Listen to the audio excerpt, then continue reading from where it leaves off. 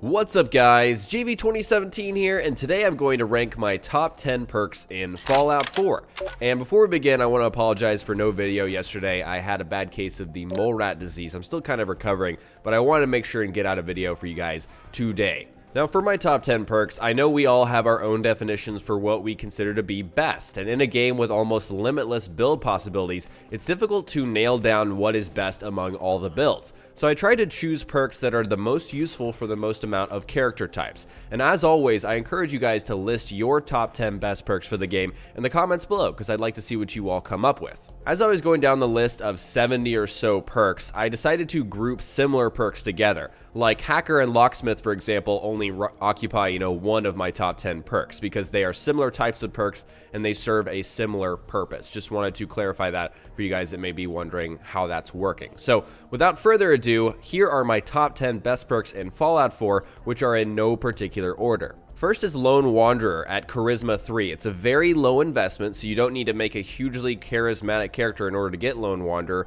You take a lot less damage, you get a lot more carrying weight, which is just all around useful, and you get more damage, 25% more damage at level 40. This is such a strong perk, and it's only amplified by the fact that you can take Dogmeat with you. You know, you can have Dogmeat with you in Lone Wanderer. And it doesn't count as a companion, but you can't take anyone else. Just the fact that you can get this with basically any character if you give them a little bit of charisma and all the things that I just mentioned. If I really did have to rank these things, you know, actually in a particular order, I would put Lone Wanderer at the top. It's just all around a very, very strong perk. Next, I have all of the direct damage perks. Now, this is a lot of perks lumped together into one category because they all amplify a certain, you know, type of damage that you're dealing. And so we've got Iron Fist, Big Leagues, Heavy Gunner, Rifleman, Demolition Expert, Gunslinger, and Commando. There's a lot of these. And honestly, Rifleman probably gets the slight edge in my opinion because of Overseer's Guardian. It's just a very strong combination. But clearly, you're going to want to pick a direct damage boost depending on the type of character build you're going for. You're always going to want to go for at least one of these. And so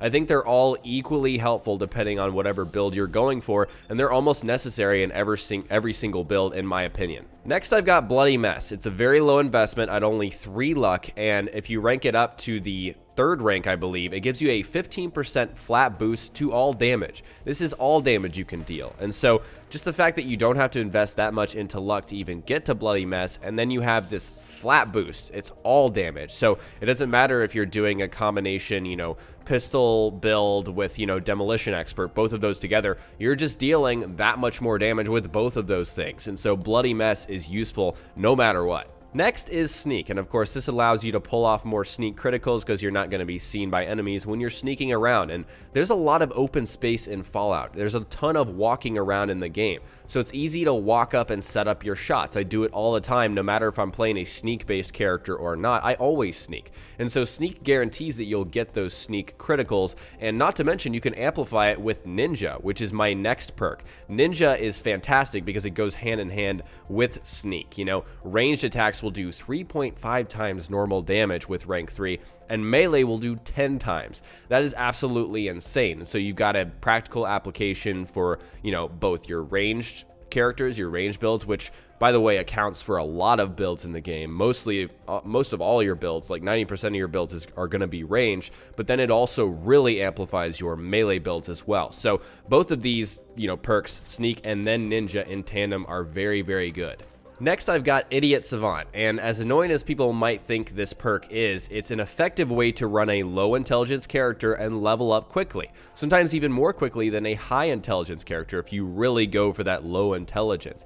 And in fact, even if you are running a high intelligence build, Idiot Savant is still useful. You know, some people are of the mindset of, you know, why do I want to level up quicker? You're supposed to enjoy the game. You know, why are you trying to level up quicker? And honestly, I don't really get that mindset. Personally, I'm having more fun when I have more perks and abilities, and there's no level cap in this game, so it's not like I'm speeding towards a level 30 like in Fallout 3 with DLC, you know? You can just keep on leveling, and so I think getting to those more fun perks and really specializing my character sooner you know, both makes the game more fun and makes my character more effective. And so Idiot Savant, as annoying as that sound is, you know, going off non-stop, is a very effective perk.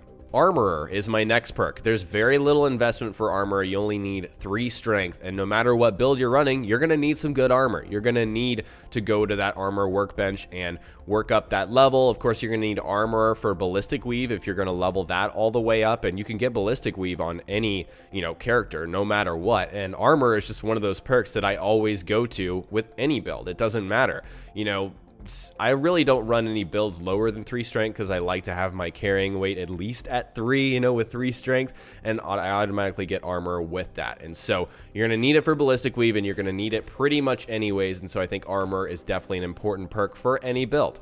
Next, we've got our critical perks, and I've talked about this in countless, you know, build guides and all of these videos. I'm talking about better criticals, critical banker, Grim Reaper sprint, and four leaf clover. That combination, that kind of synergy of those higher level luck perks, I think it's level and five to nine. All of those perks working together are so unbelievably effective. The reason I group these together is pretty much their all of their purpose is to you know refill your critical meter and make sure that you're executing criticals more often. They are so unbelievably powerful all these critical perks, especially when you get them all together. And so for a lot of builds, you know, that I've shown here on the channel, I recommend, hey, you know, go down this path. But then once you get to like level 30 and you're really not wondering, hey, where where sh should these perk points go? You know, I think working into luck is extremely powerful. And if you want to make a pure luck-based character, you're going to be extremely powerful even earlier in your game. And so these critical perks are unbelievably good. And I think they're going to be really useful when this new survival mode comes out. Next, I've got Hacker and Locksmith, the ones that I mentioned in my intro. So these are a good source of experience and they allow you to take certain shortcuts or get into special areas for certain loot. And this is one that people may not agree with exactly because you can go and get Nick Valentine, you can go and get Kate, but I think these are convenience perks. Um, obviously, I, I, really don't take both. You know, if I take Locksmith, I'll take, you know, Nick with me. If, or if I take Hacker, I'll probably, you know, bring Kate along for most of my adventures to make sure I get into everything. But I think in general, this is a quality of life uh, group of perks, and I think they're really uh, something that I go for in every single build. So I see these as, you know, a best perk, in my opinion. My last best perk, or another group of perks, is Gun Nut, Blacksmith, and Science. These together are the weapon modding perks depending on which build you're going for. If you're going for more of a laser gun, plasma gun kind of character, obviously you're going to go for science. If you're going for straight normal, you know, ballistic weapons, it's gun nut. And then if you're going melee, it's blacksmith. But it doesn't matter. In most builds, you know, depending on which one you're going for, you're going to take this perk because you want to be able to modify your weapons. The only one with a kind of a high, you know, uh, investment in terms of your special is science. But if you're running a, you know, that kind of character, it's definitely worth your while. And so I think these weapon modding perks, we're going to be shooting a ton in all of our playthroughs. So we want to be able to modify our weapons. It's super duper important in my opinion. So that's my top 10, and I understand I have some biases. For example, I like more offensive based perks. You know, all of those critical luck perks are so incredibly good in my opinion. And of course, all of the direct damage based, you know, bloody mess, sneak, all of that, eh, you know, has to do with dealing damage. And most of my perks come from that. That's just my personal bias. But let me know from you guys. I want to hear from you guys. What are your top 10 best perks in this game? Share all of that in the comment section below. I'm going to be reading them. Alright guys, today I shared my top 10 best perks in Fallout 4, and next time we will cover more Fallout on my channel, so stay tuned for Fallout 4 tips and tricks videos. If you learned something new, remember to hit that like button, I would really appreciate it, and don't forget to subscribe for more DLC coverage, build guides, and general tips and tricks videos. I'm going to go on a quest to find the ultimate cure from Curie because I need to get over this mole rat disease, so I will talk to you guys next time. Peace!